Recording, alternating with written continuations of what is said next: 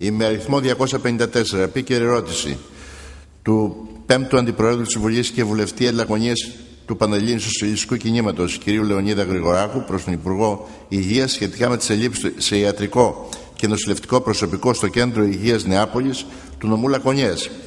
Θα απαντήσει ο αναπληρωτής Υπουργός κ. Σαλμά. Ο κ. Γρηγοράκος έχει το λόγο για δύο λεπτά. Ευχαριστώ πολύ κύριε Πρόεδρε. Μιλάμε σήμερα για ένα θέμα που απασχολεί και ταρανίζει την ελληνική κοινωνία.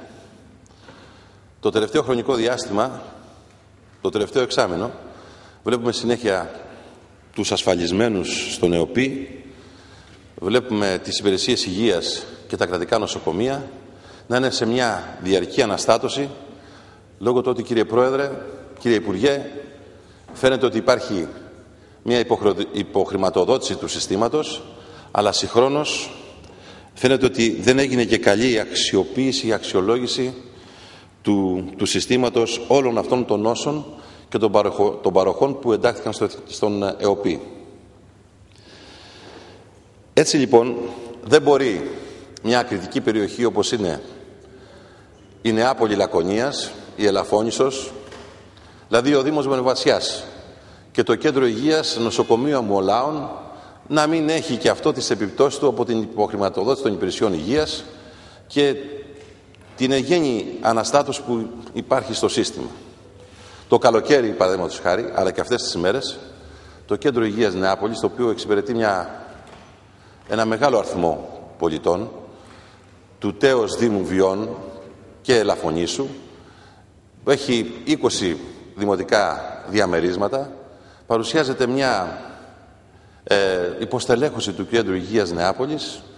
Οι γιατροί είναι ελάχιστοι, οι αγροτικοί γιατροί δεν διορίζονται έγκαιρα, νοσηλευτικό προσωπικό δεν υπάρχει, ε, οδηγία ασθενοφόρων δεν υπάρχουν, με αποτέλεσμα υπάρχει μια ανασφάλεια στην περιοχή από τους κατοίκους, βέβαια και από το ίδιο το προσωπικό, τους γιατρούς και τους νοσηλευτές, οι οποίοι δεν μπορούν να βγάλουν πέρα τη δουλειά, τη πολλή δουλειά που έχουν, γιατί σας είπα, ε, Σήμερα, επειδή υπάρχει αυτή η μεγάλη οικονομική κρίση, όλοι πηγαίνουν βέβαια στο Εθνικό Σύστημα Υγείας για να εξυπηρετηθούν.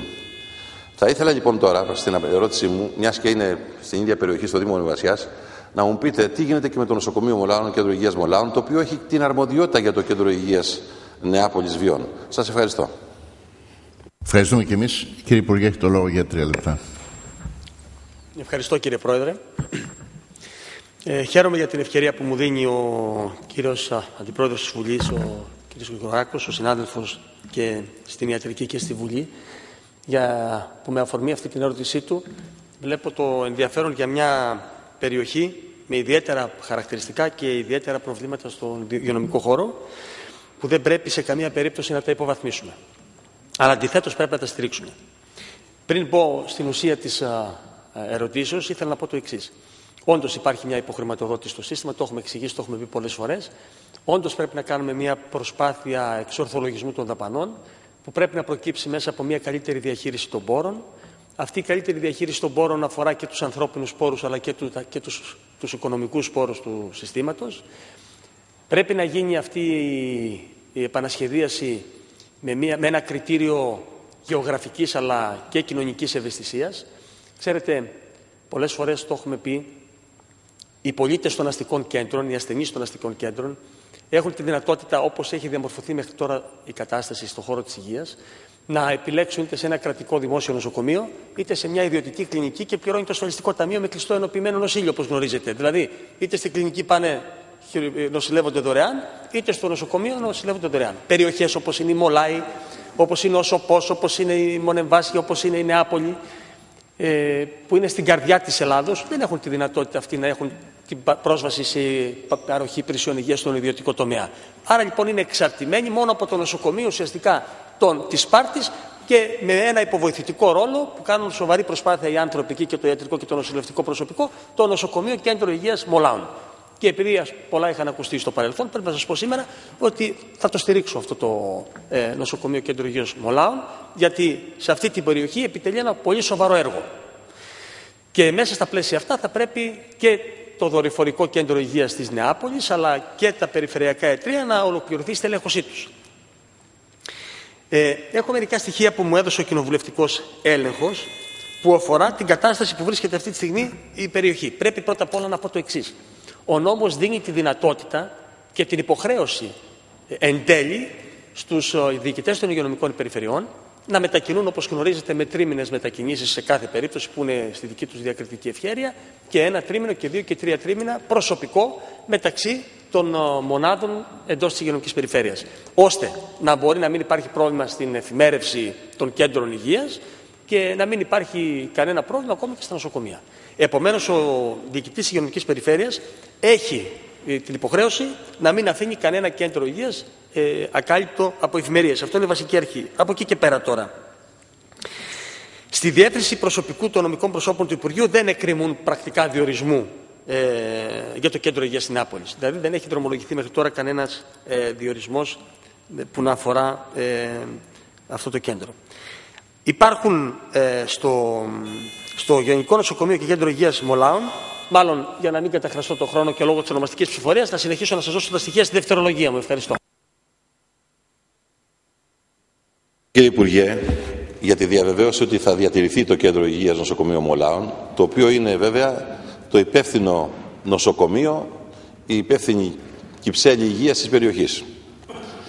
Όμως, αν δει κανείς και τα υπόλοιπα κέντρα υγείας του νομού, φαίνεται ότι η περιοχή αυτή υπολείπεται σε στελέχωση.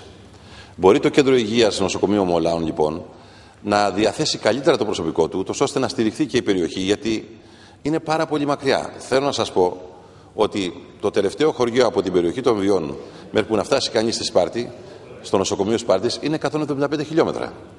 Καταλαβαίνετε ότι και το κέντρο υγείας νοσοκομείο Μολάων δεν έχει τις δυνατότητες γιατρός είστε, συνάδελφοι, είμαστε, γνωριζόμαστε πολλά χρόνια. Καταλαβαίνετε ότι αν γίνει ένα επίγον περιστατικό στην περιοχή, όταν λείπει το ασθενοφόρο του κέντρου υγείας βιών, καταλαβαίνετε ότι ο, ο κόσμος, ο ασθενής, τίθεται σε μεγάλο κίνδυνο. Δηλαδή, εάν έχουμε έλλειψη σε νοσηλευτικό προσωπικό, υποστηρικτικό προσωπικό του κέντρου υγείας Νεάπολης, υπάρχει και η ελαφώνηση που το καλοκαίρι είχε πάρα πολύ κόσμο.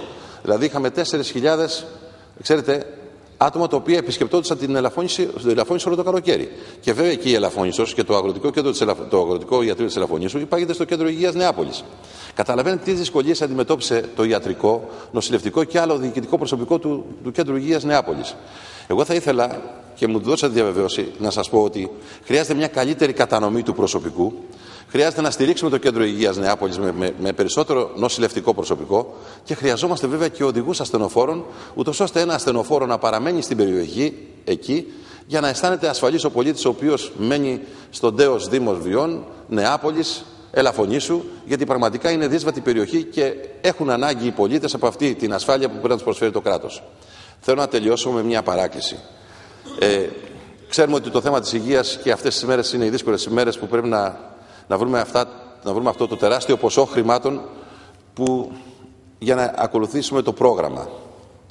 Ε, πρέπει και στις υπηρεσίες υγείας να δούμε τι γίνεται με το ποσό που δίνουν ε, οι ασφαλιστικοί οργανισμοί και τα νοσοκομεία με τις ε, αποκλειστικές με τους αποκλειστικούς νοσοκόμους, τις νοσοκόμες και με, το, με την ποιότητα υπηρεσιών υγείας που προσφέρει αυτός ο κλάδος στα νοσοκομεία. Άρα λοιπόν θα μπορούμε ένα μεγάλο ποσό που διαθέτουμε για τις αποκλειστικές στα νοσοκομεία όλης της Ελλάδος να το μετακινήσουμε ούτως ώστε να πάρουμε στελέχη ικανά της υγείας και να τα διασπείρουμε στην περιφέρεια ούτως ώστε να υπάρξει μια καλύτερη κατανομή προσωπικού και ασφάλεια του πολίτη. Ευχαριστώ. Ευχαριστούμε και εμείς κύριε Υπουργέ τη δευτερολογία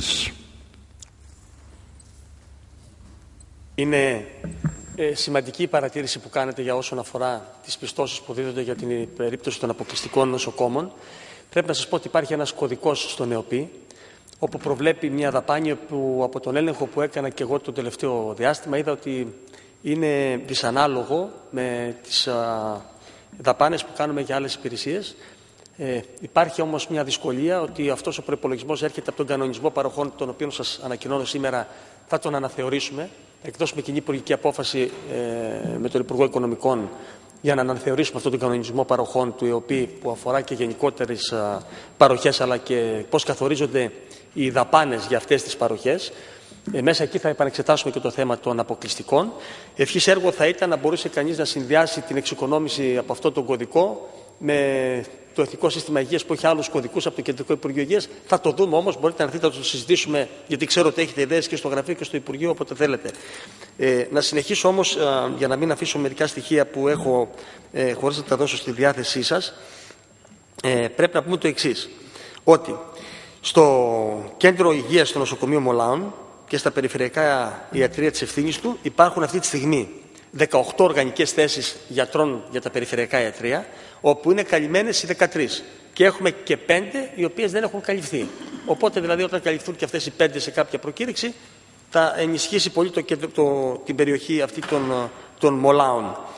Ε, αναφορικά με, τη, με το κέντρο υγείας της Νάπολης, υπηρετούν αυτή τη στιγμή ένας παθολόγος, ένας παιδίατρος, δύο γενικοί γιατροί και δύο οδοντίατροι ε, και τρεις γιατροί υπηρεσίας υπαίθρου. Είναι εκεί. Ε, το πρόγραμμα των ε, εφημεριών ε, του, των για το νοσοκομείο Μολάνου και το κέντρο υγείας Νεάπολης διαμορφώνεται με βάση τις παραμέτρους για τις τακτικές εφημερίες που θέτει το Υπουργείο Υγείας. Ε, έχουμε νοσηλευτικό προσωπικό.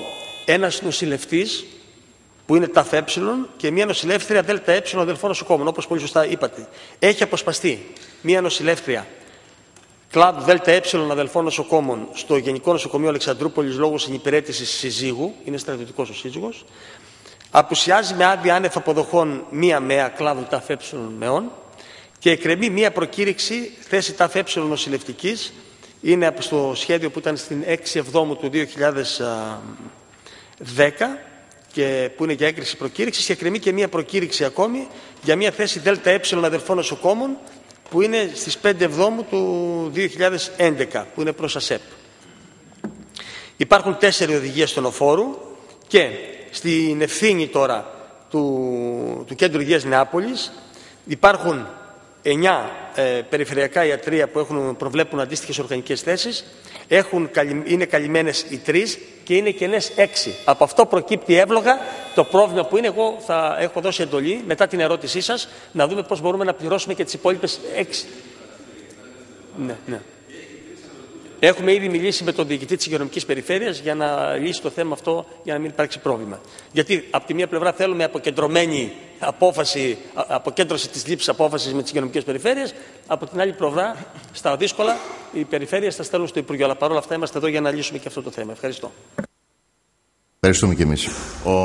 Η με αριθμό 256 επίκαιρη ερώτηση του βουλευτή επικρατείας των